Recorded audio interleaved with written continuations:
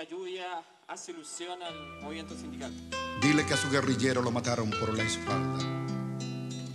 De frente no se atrevieron, pero a traición lo asaltaron. Nosotros, como muchos otros dirigentes, desde el principio denunciamos que el proyecto original nunca excedió los límites del plan laboral de José Piñera, el plan laboral de la dictadura. Eh, nos cabe preguntar todos aquellos compañeros y compañeras que estamos bajo el régimen del Código del Trabajo, a través de los niveles de contratación, ¿cuál sería la diferencia real con o sin titularidad sindical, con una negociación extremadamente arreglada y dirigida a la empresa? O bien, cabe preguntarse igual, ¿cuál sería la diferencia, compañero y compañera, de eliminar el reemplazo externo y cambiarlo por una simple muletilla de un reemplazo interno? Creo que esta reforma no es más que la presión de la peregrinidad del movimiento sindical, compañero un movimiento sindical centrado en la nula participación de los bases, como ya lo vemos por acá ya, porque la gran mayoría somos dirigentes o militantes de algunos partidos políticos. Durante este proceso hubieron dos opciones. La primera, eh, unirlo a movilizaciones masivas con el fin de lograr o rescatar pequeñas eh, o pequeños trufos, pero en la mayoría de los casos, compañeros, compañeros, si no hubiésemos ganado nada, no hubiésemos servido para ir ganando experiencia en trabajo colectivo. Ya.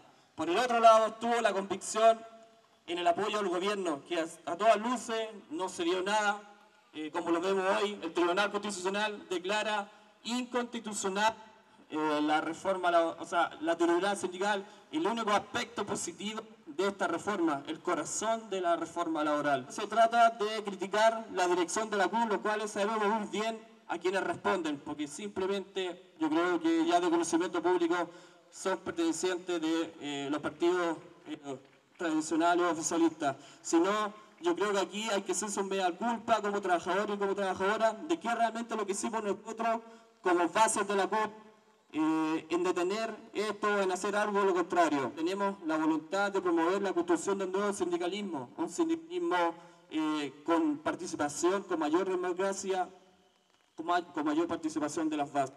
hoy podemos ver eh, la expresión de este nuevo sindicalismo, compañero y compañera, en la rebelión de las bases del colegio de profesores, compañero. Yo creo que es admirable lo que ha estado pasando con los compañeros, eh, donde no solo luchan, compañeros, eh, por una mejor democracia, o sea, mayor participación y democracia dentro del magisterio, sino bien luchan por la educación pública de Chile. Los trabajadores y trabajadoras deberán devolverle el sitial que les corresponde la refundación por un Chile democrático. Eh, arriba los que luchan, compañeros, se agradece.